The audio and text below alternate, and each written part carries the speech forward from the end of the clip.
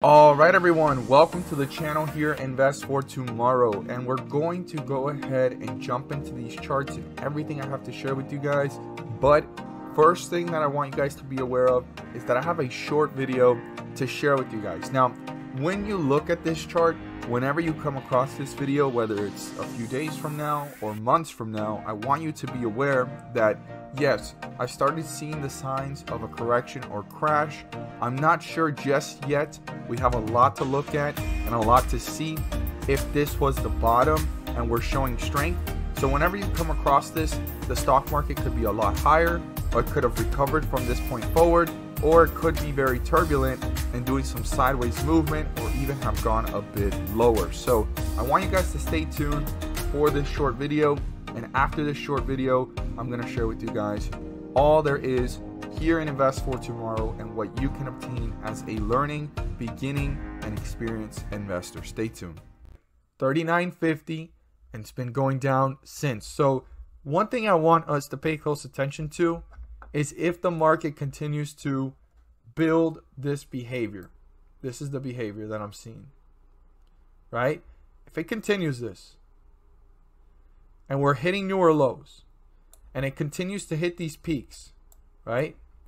Then the market is struggling to hold itself up because the repurchase agreements of these dates do not exist right now. And a lot of people don't realize how much of an impact the Federal Reserve's decisions has on the overall market.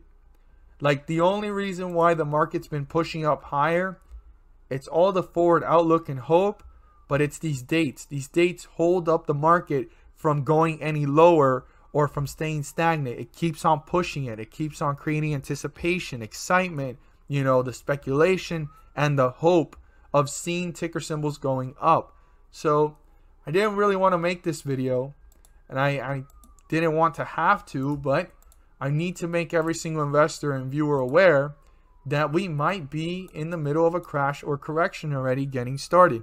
One of my favorite trees when it comes to growth is the bamboo tree. We're going to jump right into this, but if you know where I'm going with this, it's because you know how the bamboo tree grows, and that's how I look at ourselves as investors, and that's how I look at the stock market when individual stocks are being picked or looked at. So let's see. It takes bamboo about three years to develop its roots and establish itself in the ground. Three years. So for three years, if you don't understand how the bamboo grows, you won't see anything popping out of the soil. The roots are expanding, the seed is expanding, but for three years, it's all going on underneath the soil. Now, it takes five to seven years for the bamboo to reach maturity and be ready for harvest. So, five to seven years that's two to four years after the three years of development that then you could start to see the harvesting phase. So, me personally, I took four years and a half before buying my first stock, but I took four years and a half to develop myself.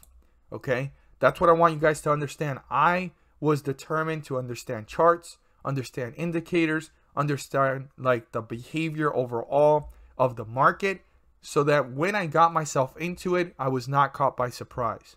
Now, what I did was I would write on a piece of paper the entry points of what stocks I wanted to buy and when I wanted to exit. I used all different strategies using the charts and the indicators. And ironically, I was paper trading, using a paper and writing it down what it was, the entry and the exits. I lost on some, I won on some. I wish I knew what paper trading really was Ironically, that's not what paper trading is. Paper trading is actually used on many platforms. If you want to search it up and learn more about it, I suggest doing it because a lot of people are not aware of it and you can learn a lot about the market literally for free.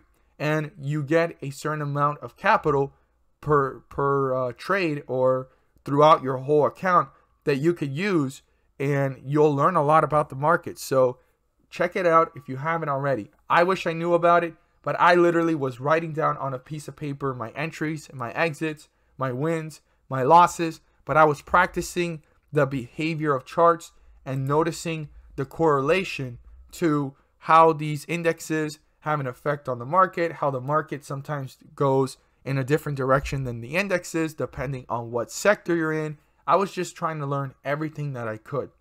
Now, five to seven years of maturity, I don't think that's enough. I think you will never mature in the market. You'll get better at it, but there's always something new, and the market is innovating all the time. So there is no maturity, in my opinion, in the market. If anything, certain strategies you can learn from and mature them, but you're always going to have to tweak and learn something new and open your mind to new sectors. And that's what we're in right now, especially in this market and all the innovation and shift that we're in. So the bamboo is mature at five to seven years and ready for harvest. So what I want you guys to realize is now take away from focusing ourselves on individual investors, but the stock market.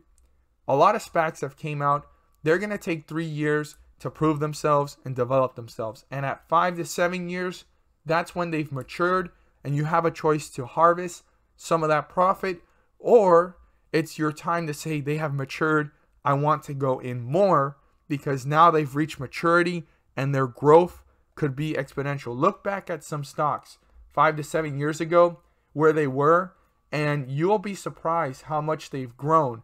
And some of them were maturing five to seven years ago, and today they have expanded so much after that maturity. One of the best examples, to be honest with you, is Amazon.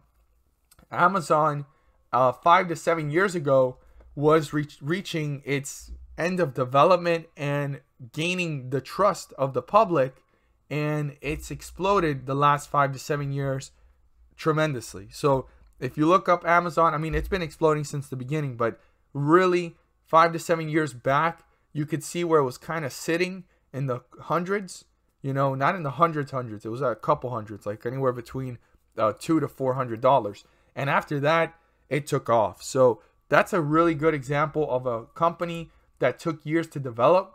It took three years to develop or more. It took five to seven years for it to reach maturity, and it still wasn't mature in the eyes of the market. And then all the way back after 15, 14 years, that's when it actually reached maturity, which was five to seven years ago. And we've seen the explosive growth of the company. So you need to start thinking like this about the market. Swing trading, day trading, and options plays are awesome. That's a great strategy. But if you really want to be an investor that maximizes profits and minimizes losses, you got to think long term. And you got to realize if you're in the development stage or if you're still developing. Okay.